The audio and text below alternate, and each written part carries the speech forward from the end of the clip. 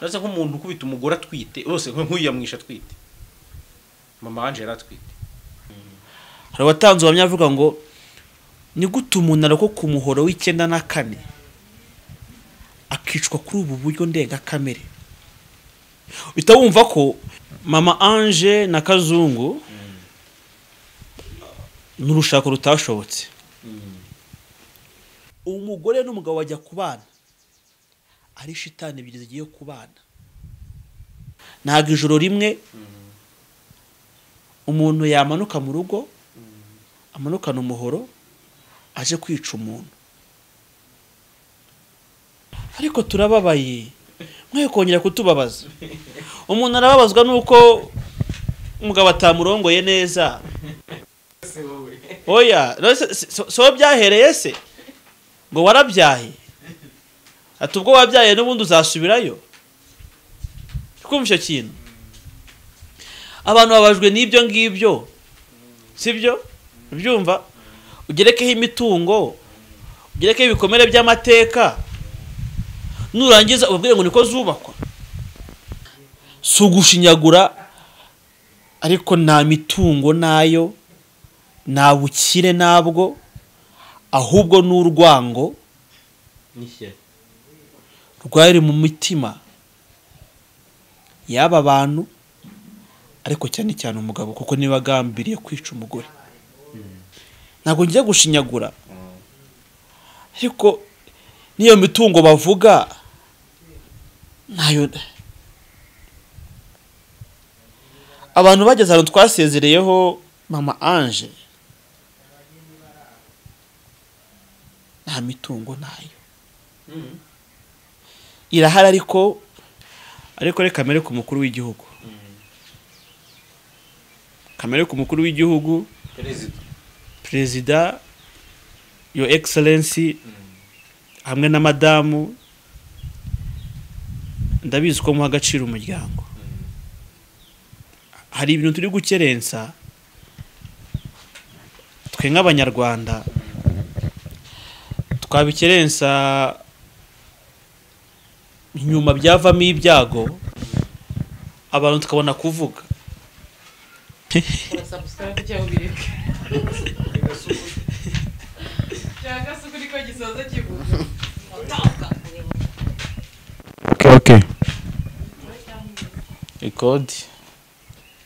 Twagiye action.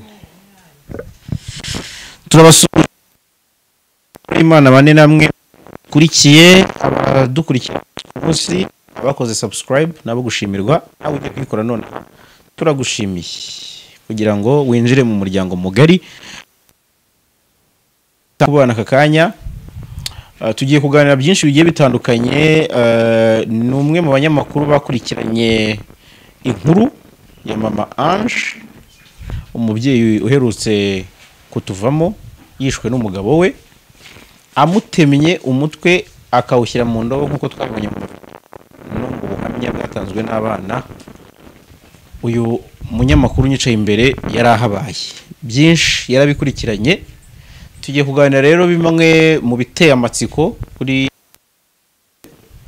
abantu bagiye baza byinshi byinshi bigiye bitandukanye. Tugere no kuri videwo yafashe igasakara ikagera ku bantu benshi cyane bitewe n'ubuhamya bwarimo bukomeye. Nkamenya ko ni umwe mu ba mbere bayishyize hanze. Ari wiriwe neza? Wiriwe. Umaze kugaruka muri mudu ko twavuganaga bitoroshye? Mm, turi aho tutariho. Turi aho tutariho kuvuga ngo umuntu ari muri mudu. Uh, na buriya buhamya bwa bariya bana byaba bigoye umuntu yaba yirengagiza. Ibibazo biracyari byinshi ntabwo mfite wo kunsubiza Uh, ndibaza ku hazaza haba ahanjye famiye yanjye abankomokaho abazankomokaho Ah, ndibaza ku muryango nyarwanda muri rusange nkanibaza ni kuki tubyara kandi twaragambiriye gu- gutera intimba abo tuzabyara. Mvuze ngo mfite amahoro naba ngiye kubeshya. Ku wa gatanu ubwo twari turi gushyingura tunasezeraho bwa nyuma murekeyiteto suzana niko mama anje yitwaga. Niyo mazina yahawe n'ababyeyi be. Naraguhamagaye ndakubwira ngo ibintu numvise hano mu rusengero. Ntago nshobora gukomeza ngo njye ku irimbi aho bari bushyingure mama anje na n'uyu munsi ndi umwe mu bantu kimwe n'abandi bakibaza byinshi ku cyaba cyarateye urupfu rwa mama anje niyo mpamvu umugabo yabikoze ndetse n'aho abana basigaye. Nyemerera wenda ntaragera aho ngaho mu rusengero unyemerere tujyanirane gato gato kugira ngo wenda n'abantu bimwe mu byo batamenye batasobanukiwe babashe kuba babyumva. Harimo twumvise mu buhamya hari aho abana bavuga bati papa yaciye umutwe mama awushyira mu ndobo. Uwo mutwe wenda sinze kukugora ngo nkoreshe amarangamutima yawe cyane. Waba warawubonye cyangwa ndagira ngo uduhe ishusho y'umurambo ko abantu benshi bisa nkaho banatinye gukamera igice cyo gusezera umurambo. Niba ariko nabibonye wowe wari uhari ubonye bimeze bite? Ese koko umutwe wavuyeho nyakuvaho? Cyangwa wenda ni uko wenda yamukase ijosi wenda agapfa sa nk'uduhira goye pe biragoye rwose. Ikintu wabonye ikintu kiri horo kongera kugisubiramo biba bigoye. Ariko wakwihangana. Abantu bumvishe iyi nkuru mu cyumweru cyashize bumvaga ko ni inkuru y'amakimbirane isanzwe. Kuko inkuru z'uko umugabo yishe umugore umugore yishe umugabo ah, mu rwanda zimaze kuba zimaze kuba nyinshi zimaze kumenyerwa. Ah, abantu bazi ko byabaye ibintu bisanzwe abantu bazi ko kuba umugabo yakwica umugore ari ibisanzwe ariko nyamana ari ibisanzwe. Rero kuri mama anje mu kumusezeraho ni byo umutwe n'igihimba ntabwo byari biri kumwe. Umutwe n'igihimba ntabwo byari biri kumwe. Umutwe wari ukwawo n'igihimba kiri ukwako. Kiri ukwacyo plutôt so ni ibintu by'indengakamere. Hari abantu b'imyaka mitoya natwe turimo tutabaye mu bihe bya jenoside. Yakorewe abatutsi muri mata muri mirongo icyenda na kane. Ariko uhita ukurira iyo shusho. Kumva n'ayo mateka igihugu cyabayemo ukareba na filime z'ibiteye ubwoba zirahari aho tujya tuba tukazenjoyinga kumva umutima ukuvuyemo kumva ubuzima urabwanze. Dusezera mama anje abantu barebaga ifoto ye hejuru ya serikeyi mu mwanya w'uko bajya basigaho agace gato ko kugaragaza Isura. kugira ngo umuntu umuzi amumenye ko ari we wagiye icyo nticyashobokaga. Iyo biza kuba uko kankoresha ino mvugo. Abantu bari kugira ihungabana ku buryo ki ndibaza iyi shusho. Izava mu bana bigenze gute?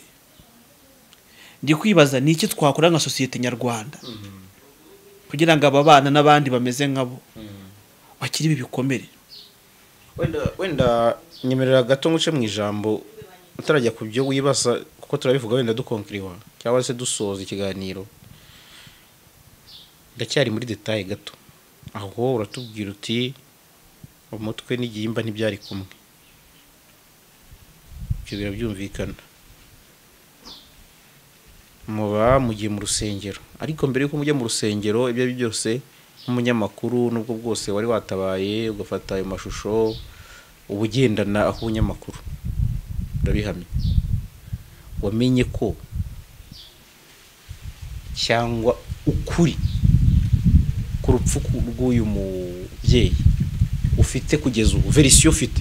Ubwo buryo ukuri akenshi kumenywa n'aba- na ba nyirako ku mutima hakaba n'igihe inzego na zo zigira uko ibyazo zivuga. Wenda na RIB ifite iperereza izagaragaza ariko wowe kugeza ubu yawe ibyo ufite amakuru ufite kuri runo rugo mbere y'uko bajya kuri stage yo kwicana. Kugira ngo tuze ndaza kukubaza cyane ku buhamya bw'aba ba- bana kuko nabonye abantu benshi babivuzeho mu buryo butandukanye bataba abana murabishe ariko mbere y'uko tujya kuri ibyo ubundi iyi famiye wamenye wayimenyeho iki? Kugira ngo ibintu bigere kuri ino etape. Mama ange na kazungu ni urushako rutashobotse urushako mu kudashoboka kubera imitungo abantu bafite iterambere bumva bashaka kugeraho bakomeza kwinginga no guhatiriza ibidashoboka. Ngira ngo mbwire abantu. Ntabwo urubyaro rwatuma urushako rukomera. Ntabwo kurongora umugore neza byatuma urushako rushoboka. Ntabwo guha umugore imodoka nawe ufite iyindi byatuma urushako rushoboka. Ntabwo gutunga iduka nk'iryo bari bafite kugera ku rwego batumiza imari mu bushinwa. Uko yaba ingana kose ntabwo ibyo byatuma urushako rushoboka. Ibi byose uvuze n'ubundi nubwo ubivuze uzimiza amakuru make mfite nuko n'ubundi ari urwo rugo ruko rwari rumeze. Impamvu bivuze bari bafitanye abana batatu. Harimo uriya muhungu watanze ubuhamya ntabashije kumenya amazina ye neza. Barimo kijuri na kibaju abakobwa batoya. Ni abana ubona ko ntawe ugwa mu ziko urimo. Ariko si abangavu si n'ingimbi ni abana. Ni abana ni abana. Umwana utaragira mu gatanu pirimeri aba akiri umwana n'urisiziye mu pirimeri aba akiri umwana. Cyane. So rero ah, ni urushako rutashobotse ni amakimbirane ndetse n'uburyarya kwihishanyamo hagati y'abashakanye kubaho. Ariko bimwe mu kinyarwanda bavuga ngo igihuru kizavamo igihunyira n'ubundi umuntu akibona kare. Byumva? Abantu bakaba bari aho ngaho ariko hari ikintu runaka isaha n'isaha cyaturika. Kuko haba imvugo zabo umugabo umugore imyitwarire yabo umugabo umugore oh, imigenzereze yabo umugabo umugore byumva bikwereka ko aba bantu urushako rwabo ntabwo rwari gushoboka umwana mukuru wa suzana yego. Yateje ikibazo mu muryango. Mama agahora abwira umugabo ko se w'uwo mwana yanapfuye. Umugabo ntabyakire ariko umugabo nawe akaba afite umwana hanze witwa brian. Sinzi nimba umugore yari yari yarabyakiriye. Hari abagiye bavuga ko hari ingeso mbi umugore n'umugabo bari bafite ntabwo wamenya nimba izo ngeso zaraturutse ku kuba umwe yari afite umwana hanze urumva n'undi afite umwana hanze. Urumva tubishyize hamwe urumva ni ngo ni famiye umugabo n'umugore bose hamwe bafite abana batanu. Sibyo harimo batatu babyaranye. N'undi umwe umwe yagiye abyara ku ruhande. Ibyo babyaye mbere y'uko babana yego. Ibyo simbibona nk'ikibazo. Sibyo? Kuko amakuru yavuze ko umugabo yamenye ko umwana wa mbere atari uwe afata umwanzuro wo kwica umugore. Ariya makuru ntabwo ariyo. Ntabwo ijoro rimwe umuntu yamanuka mu rugo amanukana umuhoro aje kwica umuntu. Atari ikintu gikomeye bapfa kuko ni ikintu bahoraga baganira bapfa. Mu magambo basubiranamo hiyongeraho imitungo kuko ni abantu baramaze gutera imbere. Umugore yaranguzaga ibintu bijyanye na cosmetics mu mujyi hari aho nabonye wenda nguciye mu ijambo gatoya nanone hari aho nabonye umukozi wo mu rugo wabakoreraga. Avuga ati bakomezaga barwana kandi umugore yamurushaga imbaraga. Barwanaga cyane igihe kiragira n'umugore yiyemeza kujya ahora yanyweye yasinze ibi ni umukozi wabakoreraga wabivugaga bamaranye amezi atandatu. Urumva nk'uko wari ubivuze ndi kugira ngo nunganiye ku kintu wari uvuze. Ntabwo ari ikintu cyabaye ngo denku ngo umuntu abyuke mu gitondo ngo arakare kavuga ngo iri joro ndagutema. Ahubwo ni ho hantu nashaka kumenya neza ngo aya makimbirane akomoka he. Kuko urumva bamwe baravuze bati umuntu yishe umugore kuko ngo yabyaye umwana hanze. Ngo ntibabyumvikane. Abandi bati bapfuye imitungo. Abandi bati eh, uyu kazungu bati ubwo ni za mentalite ziba ziba mu muntu n'ubundi zihishe. Hari n'ababifashe uko. Baravuga ati ubwo ni uko yari ameze. N'abasaza b'umukobwa batanze ubuhamya ejo. Bavuze ko atari yoroshye. Yego. Yes. Ntabvise umusaza wawe mu rusengero abivugaho. So ukuri kwihisha inyuma y'ibi bintu ni ukuhe? Ni amakimbirane y'umuryango ya bombi ba- bahatirije. Ntibumve ko bagomba kurekura. Kubera wenda iyo mitungo bari bahuriyeho nk'uko wari uti bajyaga mu bushinwa. Aba bantu ntabwo bari babanye mu buryo leta yemera. Ntabwo bari basezeranye mu buryo bwemewe n'amategeko. Ariko ibyo ngiye si byo ndeba. Kuko abizera imana cyane cyane abakirisito bazi ko usambanye cyangwa uryamanye n'umugore baba babaye umubiri umwe. Kuko nta kundi kuba umubiri umwe imana yavuze umugore n'umugabo badahuye. So rero mvanyeho iyo myumvire irimita abantu yo kumva ko uh, amategeko yita abantu babana mu buryo butemewe n'amategeko ngo ni abasambane niko bajya babisobanura ab- ab- abize amategeko kugira ngo barabizi kundusha ab- abazi droit de n'aba- n'abazi amategeko y'umuryango. Nagize amahirwe kwiga amategeko ariko ntabwo nize hayo ngayo. Nize haya najyanye n'ibyo nigaga mu byo gucunga imari z'abantu n'ibiki bitandukanye. Ariko na yo ni amategeko. Byumva Ah, rero ni amakimbirane yabaye kurukururu ahembera urwango uru rwango rurahishwa abantu bararwirengagiza umugore urusha imbaraga umugabo yumva ko yumva ko umugabo atazamunesha umugabo nawe urushwa imbaraga n'umugore yumva ko igihe kimwe akagwa gituma umugore we akamwica. Ni cyo cyabiteye nta kindi. Kuko si ibintu bishya umudugudu wari ubizi. Abo ku ruhande rw'umukobwa bari babizi abo ku ruhande rw'umuhungu nabo babizi. Ni ukuvuga ngo ni abantu batiyakiriye bo ubwabo ngo bamenye n'iki bashaka ni n'abantu imiryango itakiriye byumva ngo imiryango imenye icyo abo bantu bashaka cyangwa ibafashe guhitamo. Mu magambo make umuryango nawo ubwawo warabatereranye. Cyane. Ni ukuvuga ngo dukurikije ubuhamya bwagiye buvugwa n'abavandimwe abantu ba hafi babo wumva ko aba bantu si abantu batunguwe n'uru rupfu rumeze gutya. Bitewe n'ibindi bihe bari baragiye banyuranyanamo sinzi wowe niba uko wabibonye kuko urumva wari uhari buriya impamvu turi kukuganiriza ni uko wowe wabaye mu muhango wo gusezera uyu mama wanje. Ariko mu by'ukuri n'ubwo bwose nk'uko watangiye ubivuga warambwiye uti "Eh, birakomeye.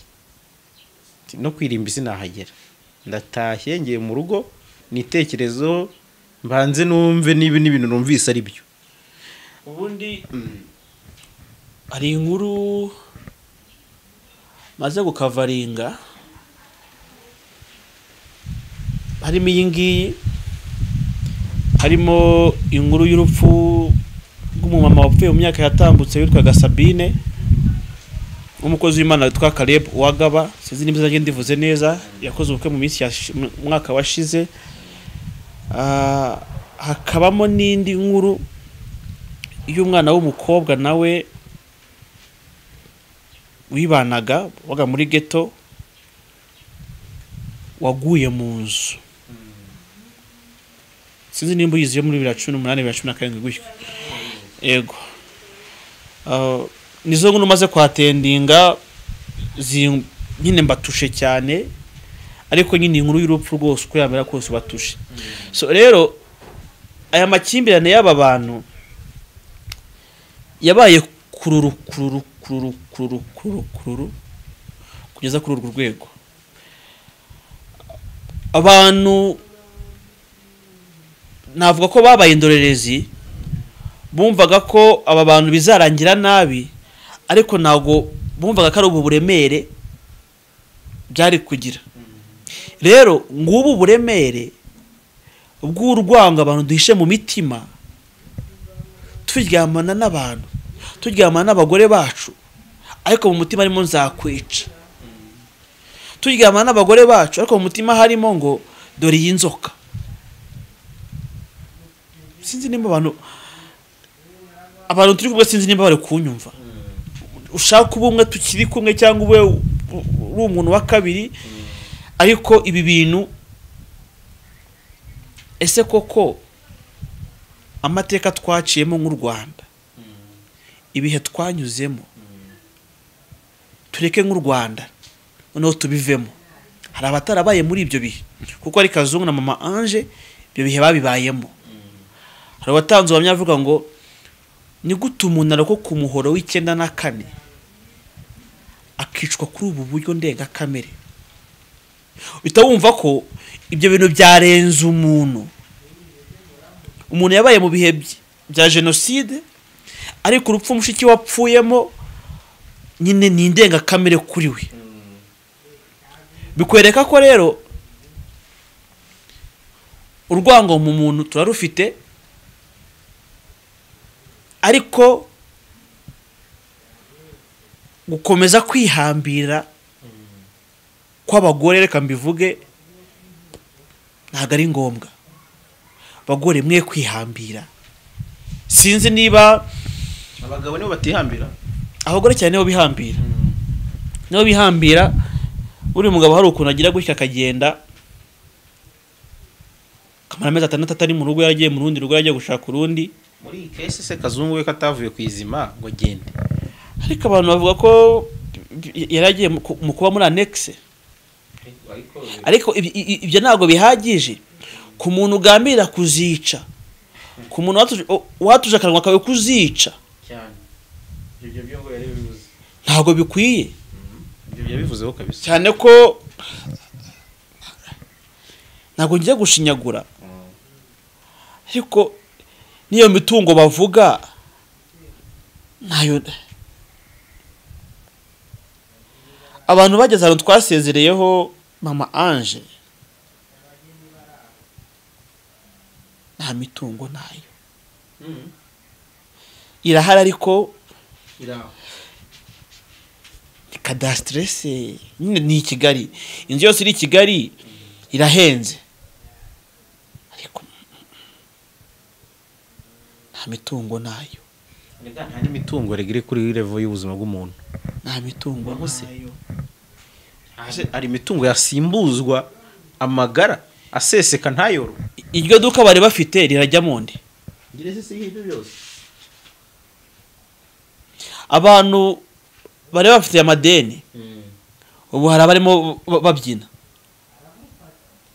Cyane uburyo kwishyuza n'ubundi biragoye. Si ugushinyagura ariko nta mitungo na yo nta bukire nabwo ahubwo ni urwango rwari mu mitima y'aba bantu ariko cyane cyane umugabo kuko niba agambiriye kwica umugore. Anabishyira mu bikorwa. Bivuze ko atateshejwe kuri iki gikorwa. Ji ndabizi wabonye imaje ikomeye bro. Ihangane rwose. Na- nakwicaje nyuma haciyemo umunsi kugira ngo tubiganireho wenda umaze ku ntabwo navuga ngo wabimenyereye kuko ntabwo nta kimenyerwa kibi kimenyerwa. Ariko byibuze amasaha uko agenda ashira hari ukuntu bitandukana. Hari imvugo abanyarwanda abanyarwanda bagira ngo ngo umusonga w'undi ni ukubuza gusinzira. Ariko iyi mvugo yarapfuye muri muri no kesi wa mugore uri kundeba. Wa mugabo uri kundeba. Kuko umusonga uri umusonga w'undi ntabwo kubuza gusinzira. Kuri ino y'ishu no kudasinzira birashoboka. Ahubwo buretse gatoya. Twinjire gatoya. eh. Ni abagabo bangahe muri kigali? Bafite abana hanze.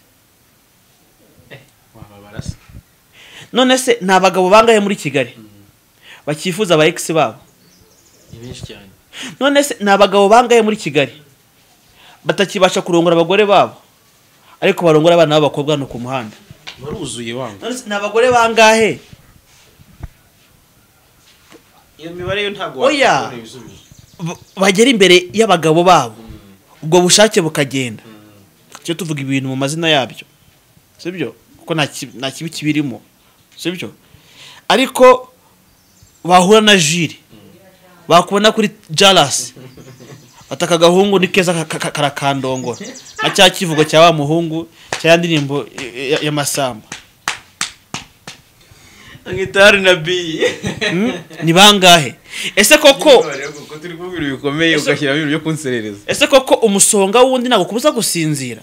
Oya ntabwo. Sinzi ko kuri ino kese ntabwo ari kuryo wabivuga iri fuhe riri mu bagabo riri mu bagore.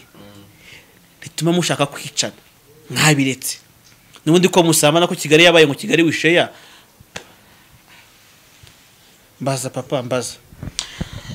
Nyemerera tuve kuri kayo mu rugo tujye n'ubundi aho na- nabonye ku mashusho n'ubundi wafashe n'abantu bari kugenda babona make make eh, mu bihe bitandukanye mu gusezera uyu mubyeyi. Aho wagarukirije ni ku buhamya. Naho ntekereza abantu benshi bari bari gukurura mu bwonko kuko ubuhamya bwadushotse turi benshi. Nanjye nishyiremo kuko eh, byarandenze. Wabimbwiraga kuri telefone buriya ni abana b'imyaka nka cumi n'itanu babivugaga.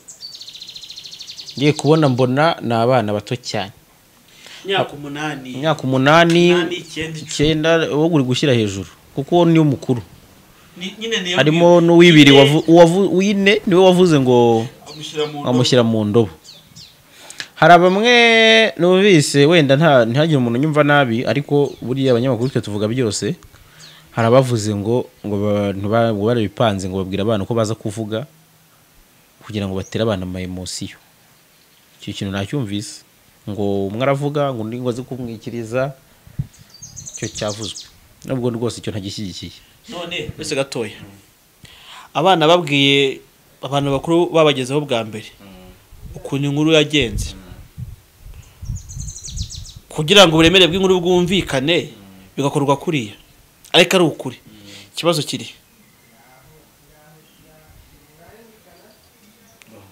Kuko muri biriya nta gihimbye kirimo. Ikibyemeza mu gusezera mama ange.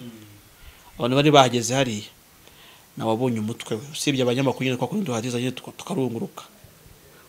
Kuko kuri sereke ye hari hariho ifoto.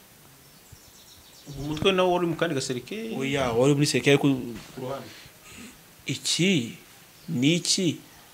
Uyu ni umutwe. Igihimba n'umutwe. Bitari kumwe.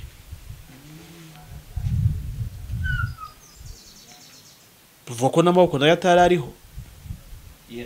Numvise ko mu buhamya bavuga bati yabanje kumuca intege. Bishobora ko yabanje kumutema nk'amaboko? Kugira ngo kuko n'ubundi amakuru agaragaza ko nubwo bajyaga ngo bashyamirana mama anje ngo yarushaga imbaraga akazungu so buretse gatoya uracyari ku buhamya. Icyo cyo wenda nuba gisobanutse no kumvikanaho ku bantu baba barabifashe ukundi kuntu bakumva ko ngo ari ibintu byapanzwe ngo kugira ngo abantu bazamure amarangamutima. Ntekereza ko nabwo ni uburyo bwo gushinyagura. Abantu abantu be gushinyagurira urubyaro mama ange asize byumva kuko iyo amarangamutima abantu bagize abari bari mu rusengero rwitwa unity in jesus fellow church christian ubumwe bw'abakristo niko urusengero rwitwa aho mama Ange yasengeraga. Amarangamutima bagize iyo aba aramuzura ahubwo bariya abana bari kuvuga ibirenze biriya. Iyo ayo marangamutima aba ari buzure mama wabo. Cyangwa ari bubomere igi- igikomere cyo kubona se yica mama wabo. Rero aba bana se amarangamutima ni ayahe bazi? Ntabwo ariko mbitekereza nanjye siko mbitekereza nuko twari tubivuze kugira ngo duce amazima amwe kuko ni wowe wafashe video yagiye hanze. Ni amarangamutima arimo. Reka reka reka icyo tukiveho. Umukozi yarabuze. Bari gutanga ubuhamya. Uriya mwana Jani Jani wa undi Yego, Jeanne. yarabuze. Yari mu kiganiro hanze. Bari gutanga ubuhamya mu rusengero. Rero uriya mubyeyi aba ari we ujya kuvuga ariko n'abana babasaba ko bagira icyo bavuga. Abantu bari bahari. Yego. Nimba abantu barebye iriya videwo uriya mwana wavuze ngo papa tema mama.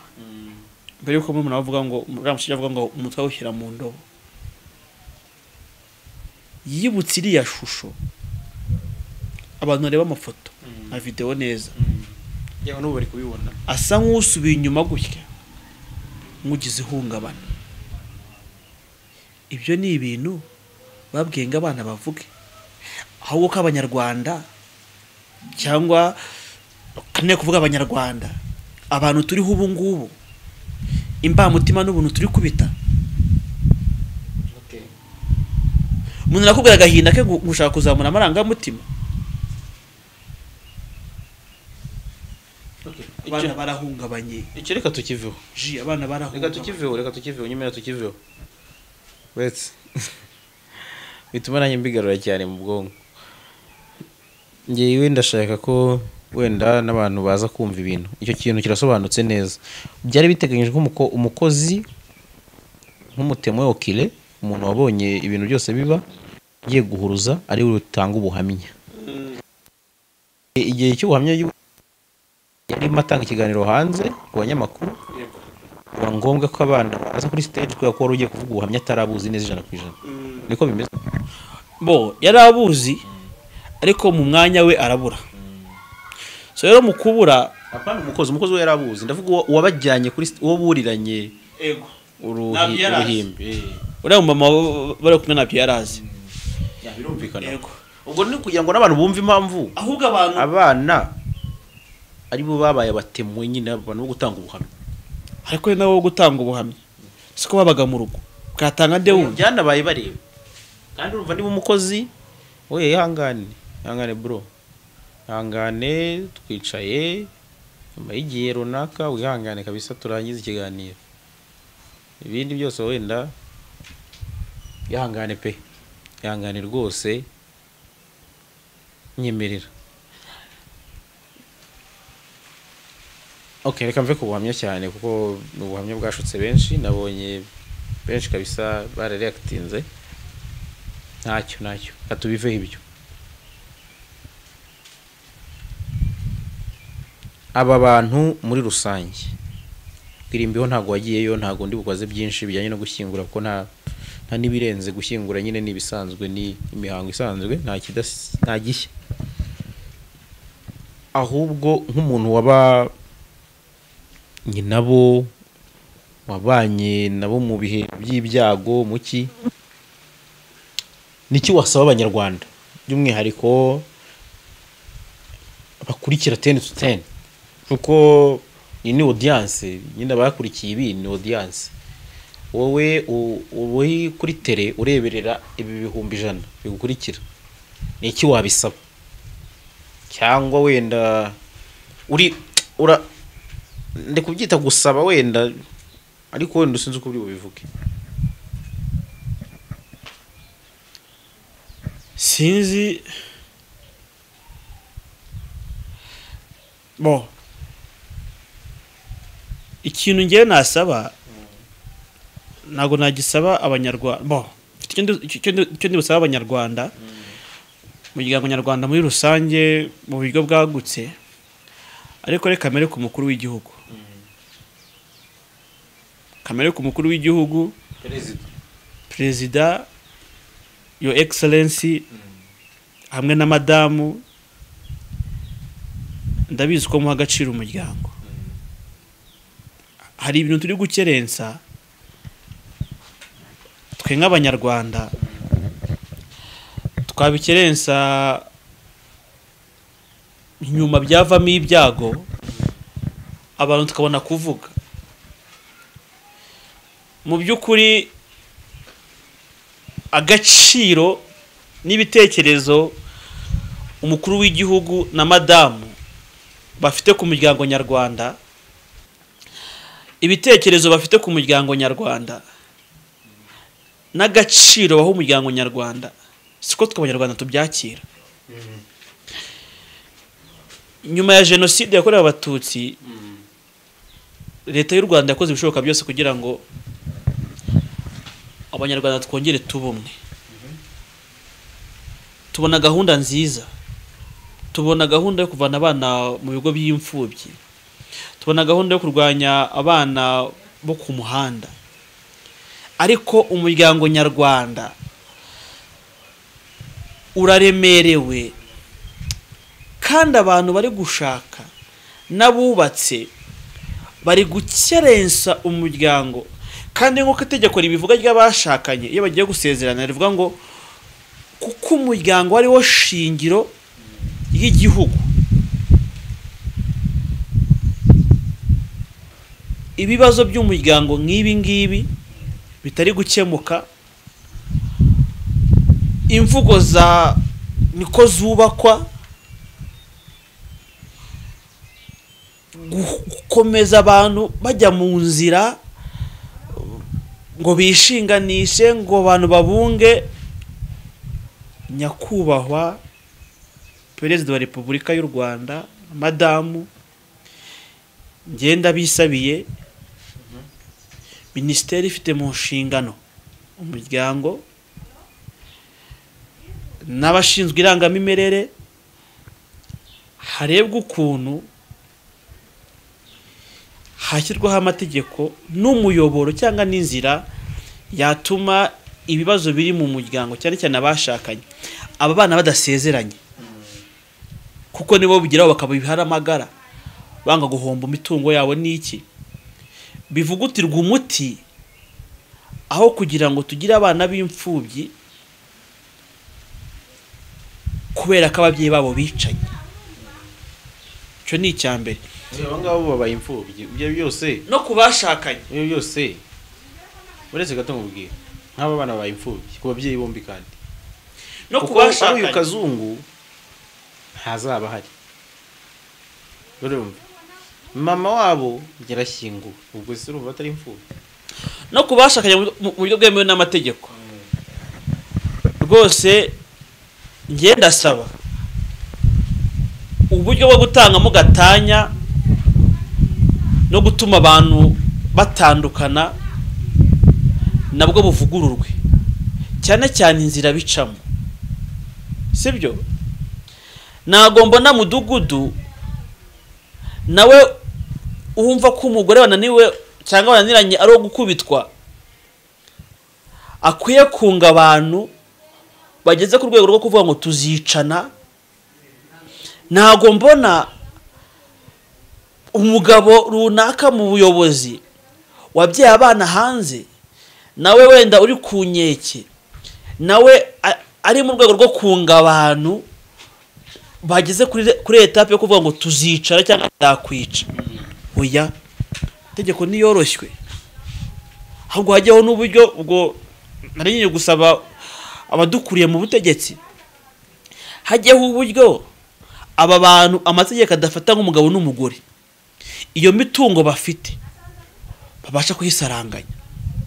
Ubundi batandukane mu mahoro. Ubwo nta itegeko riteganya ra ntacyo. Iyo babyaranye nta rireba abana mbere.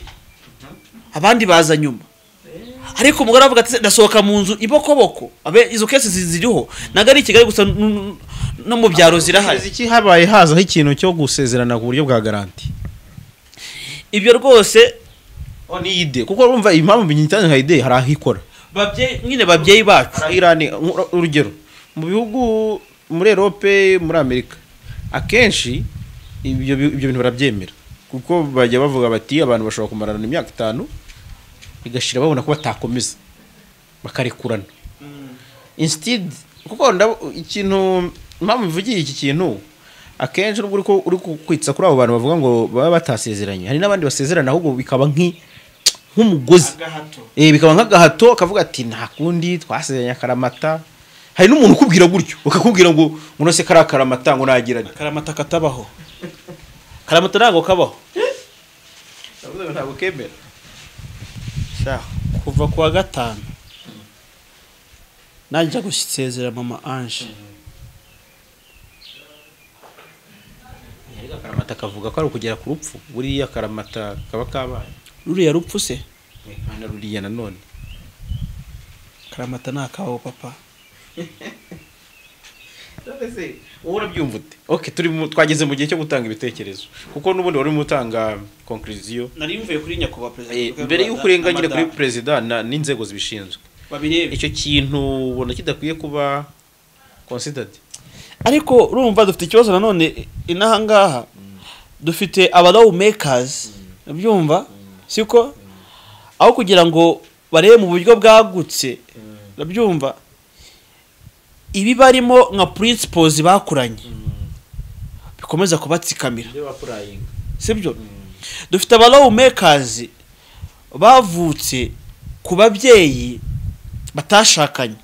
Wenda mama wa ma- mama wawe wo- wowe uri uri law maker yari yaraharitswe sibyo? Bagashaka gukomeza kwensisita byumva? Yuko umugabo ari uw'umugore umwe. Naho bidashoboka. Sibyo? Bagashaka kwensisitinga ko mu gihe uwo mugabo atakibaye umugore umwe nabyumva wa mugore wa mbere bashakanye cyangwa bamenyanye mbere akomeza gukomeza guhatiriza nk'umugore ugezweho. Nibo ba law makers dufite sibyo? Umugabo ati umugore bashakanye byemewe n'amategeko. Agasanga uwo musambane we. Aba law makers bakomeza kwensisitinga ngo urabyumva siko? Wowe mugore wa mbere urabyumva? Ko fa- first of all komeza urwane. Ni wowe mugore. Umugabo azakugarukira. Ipine yashizemo umwuka. Barijyana hehe? Kuri pinesage siko? Ariko babanje gukura iyo bidakunze ipine rivaho. Hakajyaho reserve cyane. Sibyo? Hari nubwo iryo pine riba nyine nta wundi mumaro uzongera kugira. Ubwo riba ryatobotse. Nyine nta wundi mumaro uzongera kugira.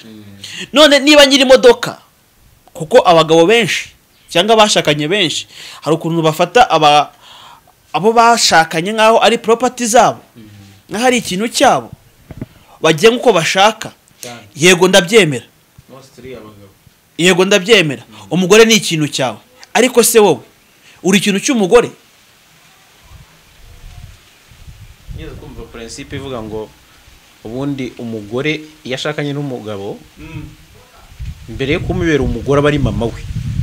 Ariko akubera mama wawe igihe nawe uri papa we. Ibyo bintu bya papa na mama babitandukanye. Ni ukuri ubu ngubu urumva ji abantu mwana ntugaseke. Warakaye bro ikibazo cyawe nawe wabyegereje umutima cyane. Ha- hari ibintu biba ukibuka amagambo wagiye wumva ukumva ni bwo ayo magambo uri kuyasobanukirwa. Bibiri na cumi na karindwi n'umunani. Ubwo sara sanyu wo muri ambasadazi yakoraga ubukwe. Icyo gihe ubwo basezeraniraga hano kibagabaga ku rusengero rw'abadivantisite rwa english church. Mpyisi ni we basezeranyije n'umugabo we. Yarababwiye ngo sara n'umugabo we muri shitani ebyiri zigiye kubana. Uyu munsi ni bwo iyo mvugo ndi kuyandasitandinga ushobora kugira ngo ababwiye nabi. Ushobora kugira ngo mpyisi ababwiye nabi ariko mu by'ukuri umugore n'umugabo bajya kubana. Ari shitani ebyiri zigiye kubana.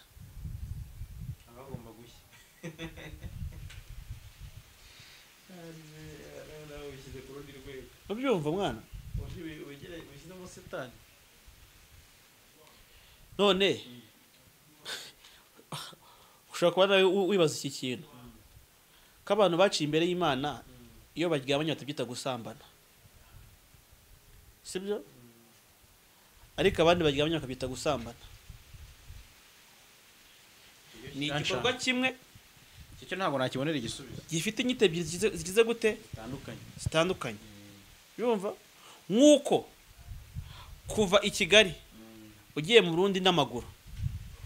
Ugiye i burundi. Ugiye n'indege ntabwo bamwita ngo yagurutse. Bavuga ngo agiye i burundi mu ndege.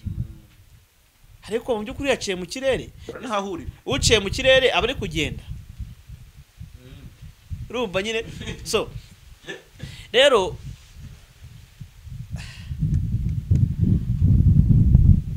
twe kubaho tubeshya tunibeshya. Ngo ibintu ni akaramata kandi atari akaramata nta gisebo kiri muri divorce. Sibyo? Igihe utabara ubuzima bwawe. Niba dawidi baramushakiye umugore umukuyakuya mu busaza bwe umugusha neza utaye uwo mugore cyangwa uwo mugabo ugambirira kukwica ukabona amahoro. Ikibazo kiri muri make turi gusoza n'ubundi. Abagore n'abagabo badashobokanye bige kurekura. Icyo cyo ndi kumva wakivuzeho sasa rero umuryango nyarwanda. Babyeyi mwubatse mukubitwa mukaturira. Mwarihanganye pe. Ariko siko zubakwa. Ababyeyi baragira bati niko zubakwa. Siko zubakwa. Byarahinduye isura. Siko zubakwa. Impamvu atari byo. Hari imvugo iba mu kinyarwanda ivuga ngo uwubatse nk'uko nyina yubatse. Amara amazu. Niba nyoko bamukubita. Ashaka kubaka nka nyoko ukubitwa. Wamara amazu. Niba so akubita nyoko ashaka kubaka nka so wamara amazu sibyo? Impamvu atari ko zubakwa abantu dufite ibikomere bitandukanye. Iby'amateka mabi twanyuzemo. Kabiri iby'ubuzima bugoye turimo. Gatatu ibikomere by'ibyishimo tutabona kandi twifuza. Mperutse kubona koti ivuga ngo turi ikinyejana kibayeho cyishimye gifite ama- amafoto duseka. Ariko imitima iri mu icuraburindi. Kuko ni ukuri. Dufite abagore b'abayobozi. Dufite abagore b'abayobozi. Badakubitwa. Nibyo? Mu buryo buri fiziki ariko bakubitwa mu buryo buri mento. Sibyo? Dufite abagabo badakubitwa mu buryo buri fiziki ariko mu buryo buri mento bakubitwa. Sibyo? Rero uko siko zubakwa ntabwo dufite abantu tuganiriza ibibazo byacu. N'abo tuganirije ibibazo byacu baratubeshya. Abakozi b'imana baratubeshya. Usanga potere runaka usanga bishopu runaka utumugabo barananiye ati humura imana izakugirira neza. Ryari gute? Bizagenda gute? Ko imana iri mu bantu? Niba uwo muntu akimubonamo imana nawe mubonamo shitani iyo mana izava mu i- bizagenda gute kugira ngo umuntu angirire neza? Abakozi b'imana bari kutubeshya. Ababyeyi bacu bamwe na bamwe bari kutubeshya. Sibyo? Hari abagifite urwo rwango barahari? Tuvugisha ukuri.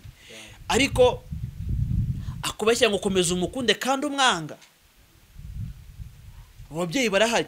Basaza bacu murahari.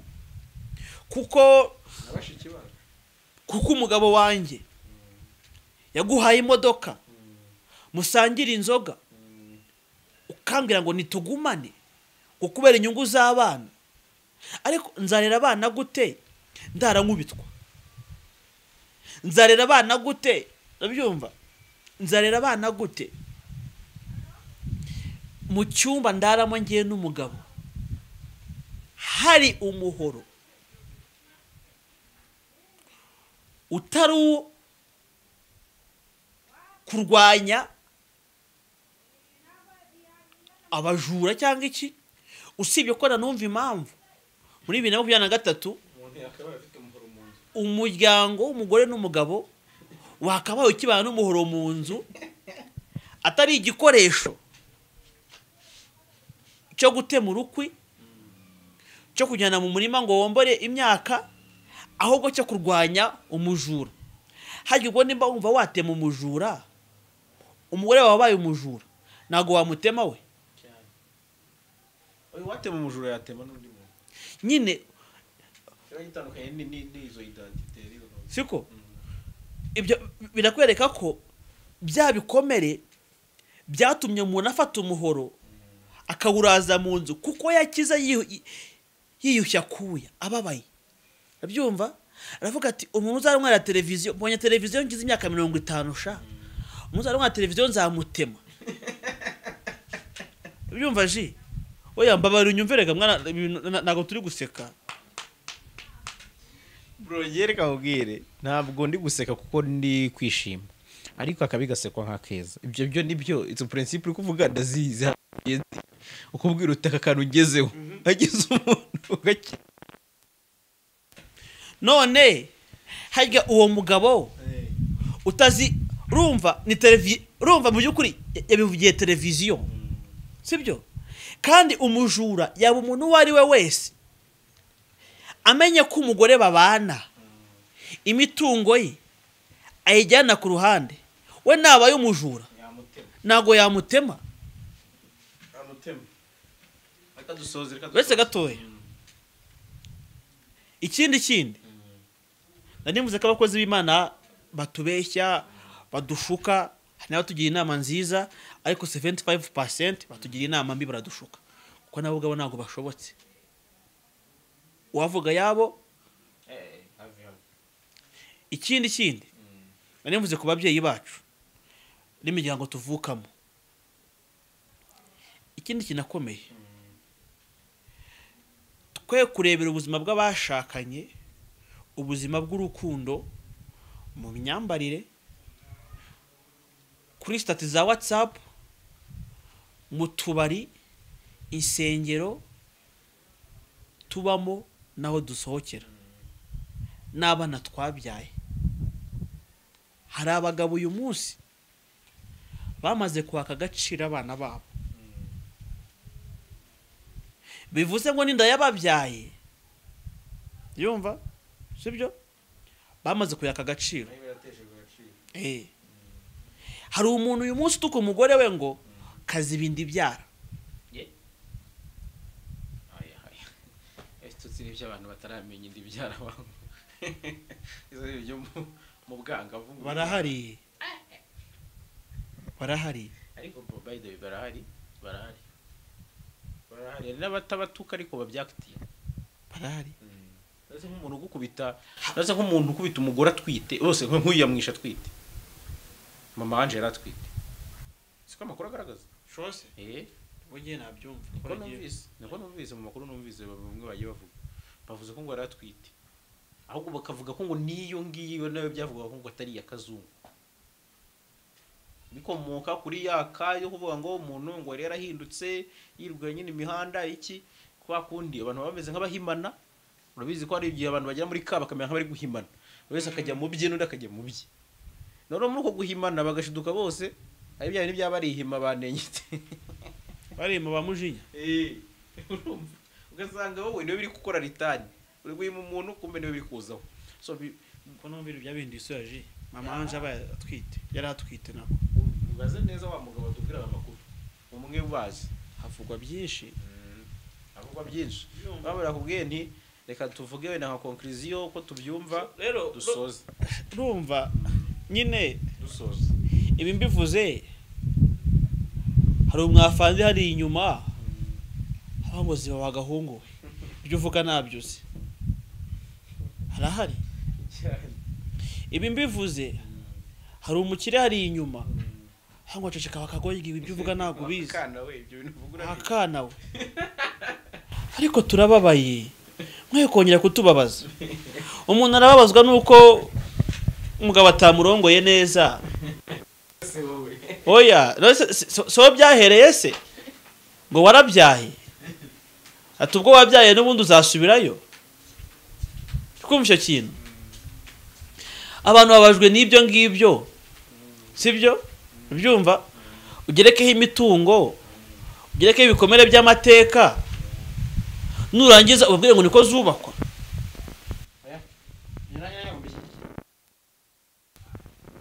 Byashoboka. So ubwo rero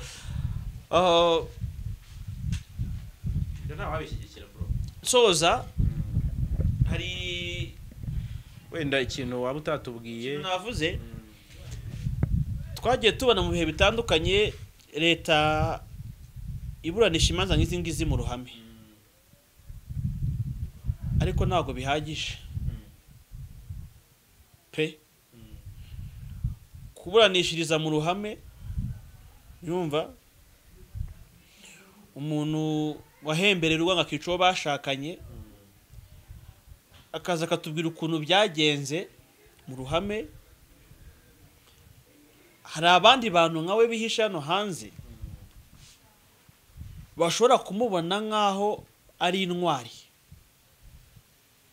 Ko aho kubura imitungo ye n'amafaranga ye yakwica ukava ku isi ukabibura akajya imageragere ariko bene yo bene wabo bakayisigaramo. Ariko we bene wanyu ntibayisigaremo. Hari abantu bagira iyo myumvire? Kuri iyi kesi urasaba iki? Kuri iyi kesi kimwe n'izindi. Nta mpamvu y'uko uyu kazungu yaburanira mu ruhame kuko n'amezi icumi ashize n'ubundi hari umugabo w'umusirikare nawe wishe umugore we. Icyaba ni iki ngiki rero. Abantu nk'aba ngaba ni byo koko havuyeho igihano cy'urupfu mu rwanda mu mategeko ahana sibyo? Ariko hashakwa ibindi bihano. Nabyo biha isomo. Abakoze ibyo byaha ndetse na sosiyete isigaye hano hanze.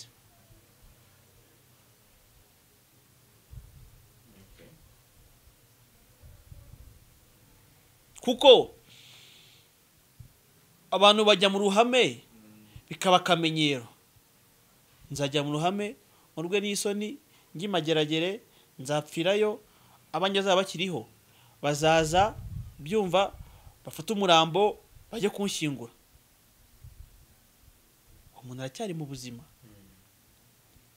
Urasaba ko byibuze abantu bisha abandi ukoresheje nabo bakicwa.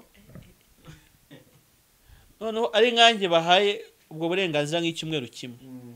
Ewe we. Si ubugome bundimo ariko ni ukugira ngo igihe kimwe kuri polisi ahantu nakuriye i murambi reka tubaze kuri urwo rugero.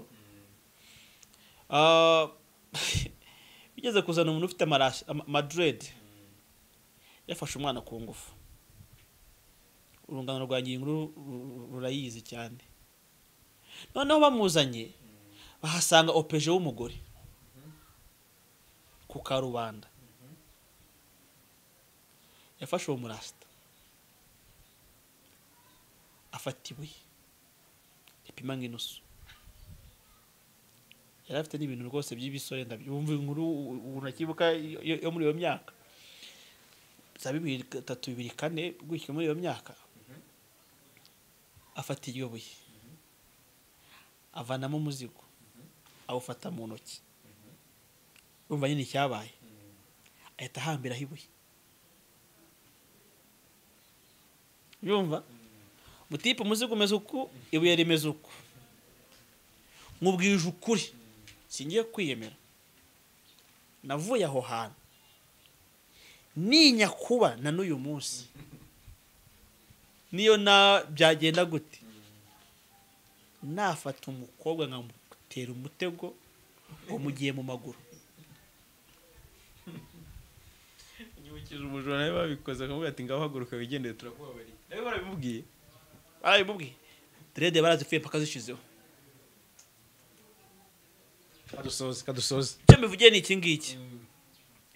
Hari ibihano byatangwa abagabo n'abandi bantu bakaboneraho.